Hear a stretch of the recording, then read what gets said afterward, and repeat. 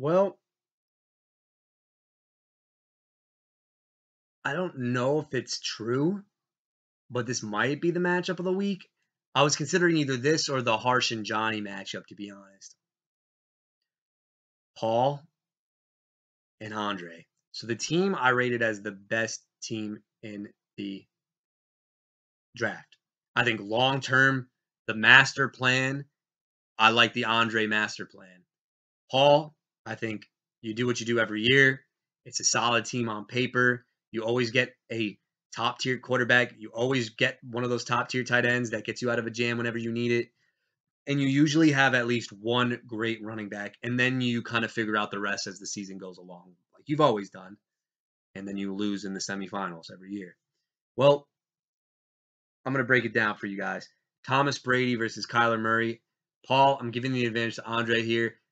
Kyler Murray is going to put up a lot of points. That Kansas City game, man, I, even if you're not a fan of football, that is a game. That is the second most anticipated fantasy game that I am looking forward to.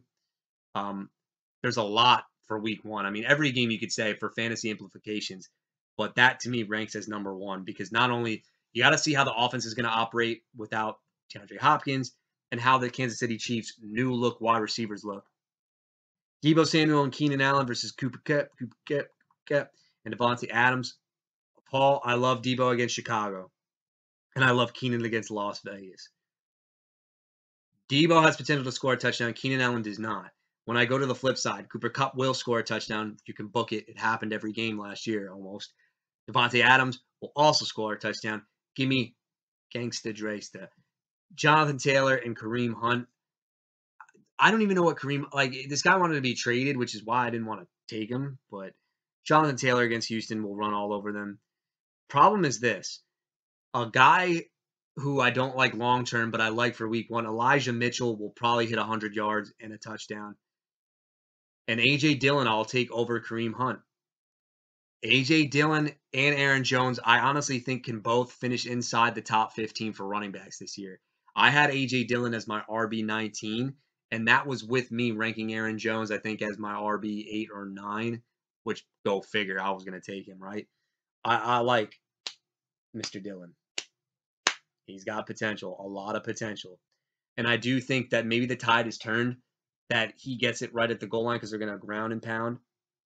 There you go. Travis Kelce over Zach Ertz. Paul, I'm not fighting this one. You got that one. Kelsey could also potentially get two touchdowns. Terry McLaurin and Drake London. Drake London has the questionable tag. We'll see if he's good to go. Terry McLaurin against the Jacksonville Jaguars. Sure, why not? Tyreek Hill against New England, I don't like. Chase Edmonds against New England, I do like. That's a lot of dump offs in that game. Up. Uh, Andre, I don't know if you listen because you don't have a Facebook, but brace yourself, kid, because you're going up against the defense that's going to get at least 20 points every single week. That is the New Orleans Saints defense. Paul, I am very seriously considering if you ever want to trade that defense for a skill position player. I don't know if I'll ever do it, but I would seriously consider it. I'm very big on this defense. This defense is amazing. My only concern is the offense that they're playing is not a traditional offense. It's kind of like a gimmicky with Marcus Mariota. I'm not saying they're going to not hit you 20 points, but they might give you 19, Paul. So I just I just want you to be aware that the 19 points are coming. It's not going to be 20 like it will every week. Paul, I'm just saying like I really like this defense a lot, Paul. Uh, Drake London, though, uh, he, he's a guy I'm not big on, if even if he is healthy in that matchup. I think it's all Mr. Pitts. Well, I got to pick a winner. I think the clear advantage is Murray, Kupp, and Adams over the rest of Paul's guys in the top half. But then I think the flex, flex and tight end department, I'm going to probably give to Paul, which means it comes down to the running backs and Taylor has to carry the load. Kareem Hunt's got to carry the load. Elijah Mitchell, and then because I if if I'm saying right now, Paul, that AJ Dillon scores a touchdown and maybe Mitchell gets a touchdown, Taylor would have to get two. Because I honestly don't know what the hell Kareem Hunt is going to do in this offense this year. This could be just a man who's just lost. But, but, but, but, but, but, but, but, but, but, the X factor is, say it, Paul. I want you to hear me say it. And I'm giving you a, like a legit evaluation here.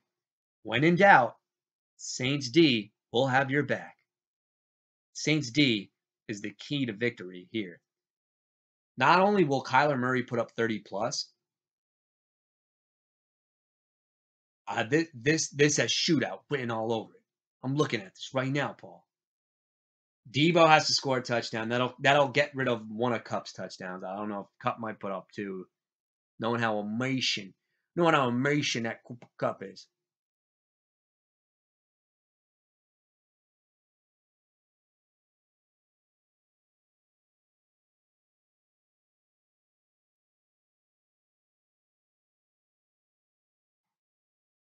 You got it?